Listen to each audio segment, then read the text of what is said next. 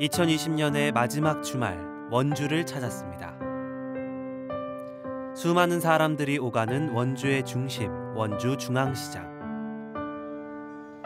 그러나 원주의 중심지라고 하기엔 놀라울 정도로 흉물스러운 건물이 있습니다. 그을린 간판만이 이곳에 점포들이 있었음을 기억하게 하는 곳, 중앙시장 상가 나동입니다.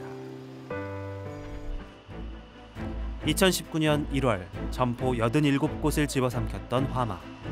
벌써 2년여의 시간이 흘렀지만 화재 현장은 그 시간 그대로 머물러 있습니다. 그리고 상인들 가슴의 상처도 그대로 남아 있습니다. 중앙시장 나동 상가에서 구두 상점을 운영하던 이선규 사장님.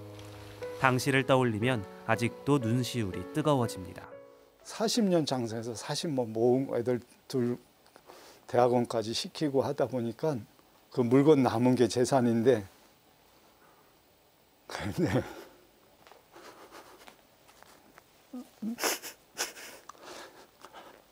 그몇 시간 동안 뭐 바깥에서 불 다 타는 거 보고 있었죠.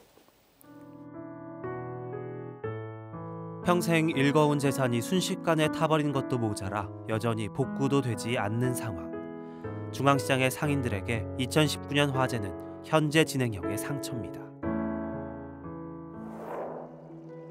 중앙시장의 또 다른 상가인 다동입니다. 2019년 화재 당시 다행히도 피해를 입지 않아 여전히 성업 중인 곳인데요. 얼마 전 이곳의 상인들은 가슴을 쓸어내려 했습니다. 화재가 발생한 것입니다.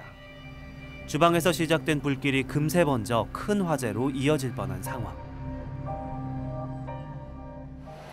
직접 소화기를 들고 나선 이웃 덕분에 불길은 금방 사그러들었습니다.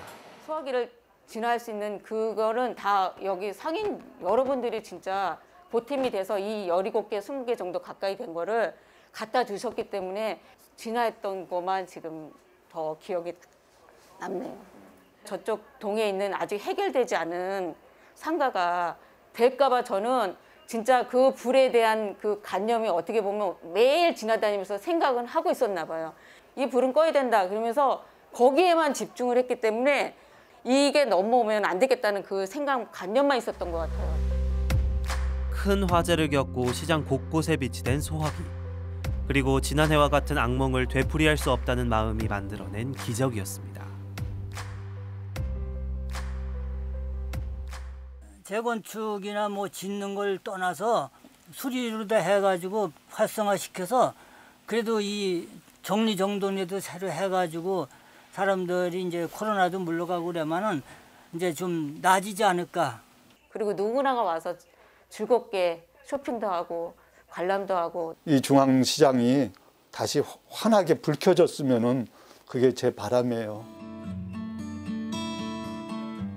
여전히 복구되지 않은 삶의 터전.